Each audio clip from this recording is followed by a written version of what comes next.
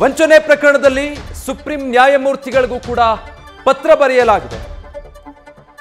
ಈ ಆರೋಪಿಗಳಿದಾರಲ್ಲ, ಕಸ್ಟಡಿಯಲ್ಲಿರುವಾಗಲೇ ಸಾಕ್ಷಿಗಳಿಗೆ ಧಮಕಿ ಹಾಕಿದ್ದಾರೆ ಅನ್ನೋ ಆರೋಪ ಇದೆ ಇವ್ರ ಮೇಲೆ. ಸೊ ಸುಪ್ರೀಂ ಕೋರ್ಟ್ಗೆ ಸಾಮಾಜಿಕ ಕಾರ್ಯಕರ್ತ ಲೋಕೇಶ್ ರಾಮ್ ಇದಕ್ಕೆ ಸಂಬಂಧಪಟ್ಟ ಹಾಗೆ ಪತ್ರ ಬರೆದಿದ್ದಾರೆ. ಚೈತ್ರ ಕುಂದಾಪುರ ವಂಚನೆ ಕೇಸ್ಗೆ ಸಂಬಂಧಪಟ್ಟ ಹಾಗೆ ಈ ಪತ್ರ ಬರೆದಿರೋದು.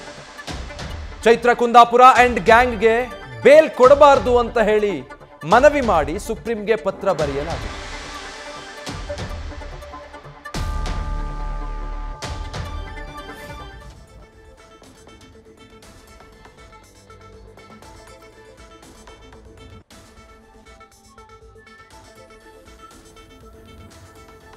ಓಕೆ ಇದೀಗ ಸ್ವತಃ ಸಾಮಾಜಿಕ ಕಾರ್ಯಕರ್ತ ಲೋಕೇಶ್ ರಾಮ್, ಅಂದ್ರೆ ಸುಪ್ರೀಂ ಕೋರ್ಟ್ಗೆ ಪತ್ರ ಬರೆದಿರುವಂಥವ್ರು. ನಮ್ಮೊಟ್ಟಿಗೆ ದೂರವಾಣಿ ಸಂಪರ್ಕದಲ್ಲಿದ್ದಾರೆ. ಸರ್, ನಮಸ್ತೆ.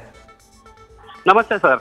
ಸರಿ ಈಗ ಈ ಆರೋಪಿಗಳು ಸಾಕ್ಷಿಗಳಿಗೆ ಅದಾಗಲೇ ಧಮ್ಕಿ ಮಾಡಿದ್ದಾರೆ ಅನ್ನೋ ಆರೋಪ ಮಾಡಿ ನೀವು ಪತ್ರ ಬರೆದಿದ್ದೀರಿ. ಬೇಲ್ ಕೊಡಬಾರ್ದು ಅಂತ. ಹೌದೌದೌದು. ಎಷ್ಟು ಪ್ರಾಮುಖ್ಯತೆ ಆಗುತ್ತೆ ಈ ಪತ್ರ ಮತ್ತೆ ಪರಿಗಣಿಸೋದ್ರಲ್ಲಿ ಇದರ ಪಾತ್ರ ಏನಾಗಬಹುದು ಅಂತೀರಿ? ನಿಜಕ್ಕೂ ನ್ಯಾಯಾಂಗದ ಮೇಲೆ ಬಹುತೇಕ ನಾವು ಭರವಸೆ ನೆಟ್ಟಿದ್ದೇವೆ ಇವತ್ತಿನ ದಿನಮಾನದಲ್ಲಿ ನಮಗೆ ಅಲ್ಪ ಸ್ವಲ್ಪ ಆದ್ರೂ ಗೌರವ ಉಳಿದಿರತಕ್ಕಂಥದ್ದು ನ್ಯಾಯ ವ್ಯವಸ್ಥೆ ಮೇಲೆ. ಈಗ ಸರ್ಕಾರಗಳು ರಾಜ್ಯ ಆಗಿದ್ದಾವೆ ರಾಜಕೀಯ ಪಕ್ಷಗಳು ರಾಜ್ಯ ಆಗಿರ್ತವೆ. ಈ ರೀತಿಯ ಸಂದರ್ಭಗಳಲ್ಲಿ ಒಂದು ರಾಜಕೀಯ ವೈಮನಸ್ಸುಗಳಿಟ್ಕೊಂಡು ಪ್ರತಿಪಕ್ಷಗಳು ದಾಳಿ ಮಾಡುವಂತದ್ದಾಗ್ತದೆ ಇಲ್ಲದೆ ಹೋದ್ರೆ ಒಂದು ಸಾಫ್ಟ್ ಕಾರ್ನರ್ ಇರ್ತಕ್ಕಂಥ ಸಾಫ್ಟ್ ಹಿಂದೂಯಿಸಂ ಕೂಡ ವರ್ಕ್ ಆಗುವಂತ ಸಾಧ್ಯತೆಗಳಿರ್ತವೆ. ಒಂದು ಹೆಣ್ಣು ಮಗು ಅಂತಕ್ಕಂಥ ಒಂದು ಸಾಫ್ಟ್ ಕಾರ್ನರ್ ಕೂಡ ಕೆಲಸ ಮಾಡುವಂತ ಸಾಧ್ಯತೆಗಳಿರ್ತದೆ.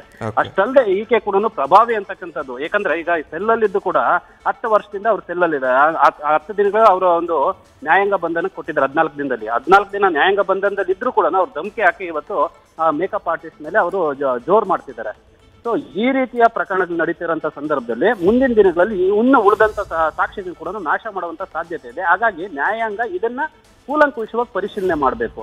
ಈ ಎಲ್ಲ ಘಟನಾವಳಿಗಳನ್ನ ಅವರು ಆಧಾರವಾಗಿ ತೆಗೆದುಕೊಳ್ಬೇಕು. ಅಂದ್ರೆ ಈಗ ಕಳೆದ ಅವ್ರು ಅರೆಸ್ಟ್ ಆದ ದಿನದಿಂದ ಇವತ್ತಿನ ತನಕ ಏನೆಲ್ಲ ಘಟನೆ ನಡೆದಿದೆ ಅದನ್ನ ಘಟನಾವಳಿಗಳನ್ನ ಆಧರಿಸಿ ಬೇಲ್ ಕೊಡ್ಬೇಕಾ ಬೇಡ ಅಂತಕ್ಕಂಥದ್ದು ಘನವೇ ಘನತೆವೆತ್ತ ನ್ಯಾಯಾಲಯ ತೀರ್ಮಾನ ಮಾಡ್ಬೇಕಂತಕ್ಕಂಥದ್ದು ನಮ್ಮ ವಾದ ಇರ್ತಕ್ಕಂಥದ್ದು. ಹಾಗಾಗಿ ಅವರ ವಿವೇಚನೆಗೆ ಕೊಟ್ಟಿರ್ತಕ್ಕಂಥದ್ದು ಈ ವಿಷಯ. ನಾನು ನಾನು ಅದನ್ನ ಸ್ಪಷ್ಟವಾಗಿ ಹೇಳಕ್ಕೆ ಇಷ್ಟಪಡ್ತೇನೆ.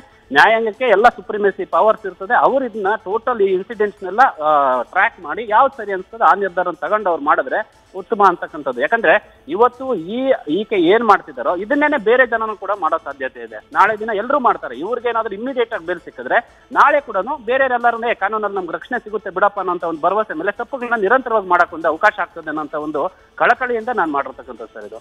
ಓಕೆ ಈಗ ಅದೇ ಇದನ್ನ ಪರಿಗಣಿಸಬೇಕಾ ಬೇಡವಾ ಅನ್ನೋದು ನ್ಯಾಯಾಲಯದ ವಿವೇಚನೆಗೆ ಬಿಟ್ಟಿರೋ ವಿಚಾರ. ಬಟ್ ಅರ್ಜಿಯಲ್ಲಿ ಅದನ್ನ ಎಷ್ಟು ಪರಿಣಾಮಕಾರಿಯಾಗಿ ನಾವು ಮನದಟ್ಟು ಮಾಡಿಕೊಡ್ತೀವಿ ಅನ್ನೋದು ಕೂಡ ಮುಖ್ಯ ಆಗುತ್ತೆ. ಸೊ ಏನೆಲ್ಲ ಉಲ್ಲೇಖಿಸಿದ್ದೀರಾ ಪ್ರಮುಖವಾಗಿ ನಿಮ್ಮ ಪತ್ರದಲ್ಲಿ ಆ ಪತ್ರದಲ್ಲಿ ನಾನೀಗ ಈ ಅಂಶಗಳನ್ನೆಲ್ಲ ಹಾಕಿದ್ದೇನೆ. ಅಂದ್ರೆ ಅವ್ರ ಮೇಲೆ ಪ್ರಕರಣ ದಾಖಲಾಗಿದೆ. ಪ್ರಕರಣ ದಾಖಲಾದ್ಮೇಲೆ ಸಾಕ್ಷ್ಯನಾಶ ಕೂಡ ಅವ್ರು ಪ್ರಯತ್ನ ಮಾಡೋದು ನಿಜ. ಒಂದು ರಾಜಕೀಯ ಪಕ್ಷದ ಹೆಸರನ್ನು ಕೂಡ ಬಳಸ್ಕೊಂಡಿದ್ದಾರೆ.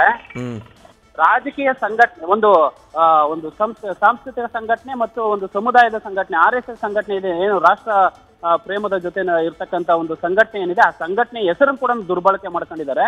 ಹಾಗಾಗಿ ಈ ರೀತಿ ಹಲವಾರು ಮಹತ್ವವಾದಂತ ಒಂದು ನ್ಯಾಯಾಲಯ ಕೂಡ ನ್ಯಾಯಾಲಯ ಕೂಡ ನಮ್ಮ ಮಾತು ಕೇಳುತ್ತೆ ಅನ್ನೋಂತ ನಿಟ್ಟಿನಲ್ಲಿ ಅವರೆಲ್ಲ ಮಾತಾಡಿರುವಂತ ಸಾಕ್ಷಿಗಳು ಕೂಡ ಇದಾವೆ.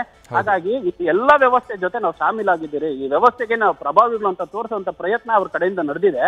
ಮುಂದೆ ದಿನ ಕೂಡ ಅವ್ರೇನಾದ್ರೂ ಮಾಡಿದ್ರೆ ನಾನು ಸಾಕ್ಷ್ಯನಾಶ ಮಾಡ್ತೀನಿ ಅನ್ನೋಷ್ಟು ಪ್ರಭಾವಶಾಲಿಯಾಗಿ ಅವರು ಇವತ್ತು ಮಾತಾಡೋದ್ರಿಂದ ಇದನ್ನ ಆಗ್ಬಾರ್ದು ಅನ್ನೋದನ್ನ ಮನ, ಒಂದು ಪಾಯಿಂಟ್ ವೈಸ್ ಪಾಯಿಂಟ್ ವೈಸ್ ನಾನು ಮಾಡ್ಕೊಂಡು ಹೋಗಿದ್ದೇನೆ ಸರ್ ಎಲ್ಲ ವಿಷಯಗಳು ನಾನು ಓಕೆ ಅದೇ ನೀವು ಹೇಳಿದಾಗೆ ನ್ಯಾಯಾಂಗ ವ್ಯವಸ್ಥೆ ಮತ್ತು ನ್ಯಾಯಾಧೀಶರ ಹೆಸರನ್ನು ಇಲ್ಲಿ ದುರ್ಬಳಕೆ ಮಾಡ್ಕೊಂಡಿರೋದು ಗಂಭೀರ ಸ್ವರೂಪ ಪಡೆದುಕೊಳ್ಬಹುದು. ಇದಕ್ಕೆ ಸಂಬಂಧಪಟ್ಟ ಹಾಗೆ ನೀವು ವಕೀಲರ ಜೊತೆ ಏನಾದ್ರು ಮಾತಾಡಿದ್ದೀರಾ? ಪರಿಣಾಮ ಏನಾಗಬಹುದು ಈ ಅರ್ಜಿಯಿಂದ ಅಂತ? ನಾನು ಲೀಗಲ್ ಕನ್ಸಲ್ಟೇಷನ್ ತಗೊಂಡಿದ್ದೀನಿ. ನನ್ನ ಸ್ನೇಹಿತರೆ ವಕೀಲರಿದ್ದಾರೆ ಅವ್ರ ಹತ್ರ ಎಲ್ಲ ಮಾಹಿತಿ ತೆಗೆದುಕೊಂಡಿದ್ದಕ್ಕೆ. ಇದೆಲ್ಲ ಗಣ ಒಂದು ಸುಪ್ರೀಂ ಕೋರ್ಟ್ ಮತ್ತೆ ಹೈಕೋರ್ಟ್ಗೆ ನೀವು ಪತ್ರ ಬರೆದಿದ್ದೆ ಆದ್ರೆ ಅವ್ರು ಗಂಭೀರವಾಗಿ ಇದನ್ನ ಪರಿಗಣಿಸ್ತಾರೆ. ಯಾಕಂದ್ರೆ ಇದೆಲ್ಲ ಪಬ್ಲಿಕ್ ಇಂಟ್ರೆಸ್ಟ್ ಅಲ್ಲಿ ಮಾಡ್ತಿರ್ತಕ್ಕಂಥದ್ದು ಅನ್ನೋಂಥದ್ದು ಅವ್ರಿಗೂ ಗೊತ್ತಿದೆ. ಯಾಕಂದ್ರೆ ಇವತ್ತು ಏನ್ ಚೈತ್ರ ಕುಂದಾಪುರ ಏನ್ ಮಾಡಿದಾರೋ ಇದೇ ರೀತಿ ಪ್ರಕರಣಗಳು ಹಲವಾರು ಪ್ರಕರಣಗಳಿದಾವೆ ರಾಜ್ಯಾದ್ಯಂತ. ಸೊ ಇದೊಂದರಲ್ಲಿ ಗಂಭೀರವಾದ ಶಿಕ್ಷೆ ಪ್ರಕಟ ಆಗಿದೆ ಆದ್ರೆ ಬ್ರೋಕರೇಜು ಈ ರೀತಿ ವಂಚನೆ ಪ್ರಕರಣಗಳು ಚೀಟಿಂಗ್ ಹೆಚ್ಚಿಗೆ ಆಗೋದಿಲ್ಲ. ಮುಂದಿನ ದಿನಗಳಲ್ಲಿ ಕಡಿಮೆ ಆಗ್ತದೆ. ಆದ್ರೂ ಸಹ ಇದು ಈ ಒಂದು ಬೆಂಚ್ ಮಾರ್ಕ್ ಜಡ್ಜ್ಮೆಂಟ್ ಆಗ್ಬೇಕು ಅನ್ನೋಂಥದ್ದು ನನ್ನ ಆಸಕ್ತಿ ಇರೋಂಥದ್ದು ಅಂತ ಅಂತ- ಅಂತಕ್ಕಂಥ ವಿಷಯಗಳನ್ನೆಲ್ಲ ಅಲ್ಲಿ ಉಲ್ಲೇಖ ಮಾಡಕ್ಕೆ ಇಷ್ಟಪಟ್ಟಿದ್ದೀನಿ sir. Okay thank you Lokesh Ram ಅವರೇ. ನ್ಯೂಸ್ ಫಸ್ಟ್ ಜೊತೆ ಮಾತನಾಡಿದ್ದಕ್ಕೆ. ಇದು ಈ ಆರೋಪಿಗಳ ಬಗ್ಗೆ ಪತ್ರ ಬರೆದಿದ್ದಾರಲ್ಲ ಸುಪ್ರೀಂ ಕೋರ್ಟ್ಗೆ. ಇದರಲ್ಲಿ ಜಾಮೀನು ಕೊಡಬಾರ್ದು. ಯಾಕಂದ್ರೆ ಈಗಾಗಲೇ ಸಾಕ್ಷಿ ನಾಶ ಮಾಡೋ ಪ್ರಯತ್ನ ಮಾಡಿದ್ದಾರೆ. ಯಾರೆಲ್ಲ ಸಾಕ್ಷಿಗಳಿದ್ದಾರೆ, ಅವ್ರಿಗೆ ಧಮಕಿ ಹಾಕೋ ಕೆಲಸ ಆಗಿದೆ. ಒಂದು ವೇಳೆ ಇವರಿಗೇನಾದರೂ ಬೇಲ್ ಸಿಕ್ಕಿದ್ರೆ ಇನ್ನೂ ಹೆಚ್ಚಿನ ಸಾಕ್ಷ್ಯ ನಾಶ ಮಾಡೋದಕ್ಕೆ ಮುಂದಾಗ್ತಾರೆ. ಆಗ ಪ್ರಕರಣದಲ್ಲಿ ನ್ಯಾಯ ಒದಗಿಸೋದಕ್ಕೆ ಸಾಧ್ಯ ಆಗೋದಿಲ್ಲ.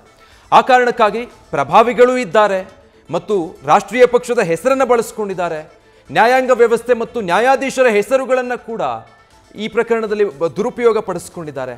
ಈ ಎಲ್ಲ ಅಂಶಗಳನ್ನು ಗಮನದಲ್ಲಿಟ್ಟುಕೊಂಡು ಇವರಿಗೆ ಜಾಮೀನು ಮಂಜೂರು ಮಾಡಬಾರ್ದು ಅಂತ ಹೇಳಿ ಪತ್ರ ಬರೆದಿದ್ದಾರೆ.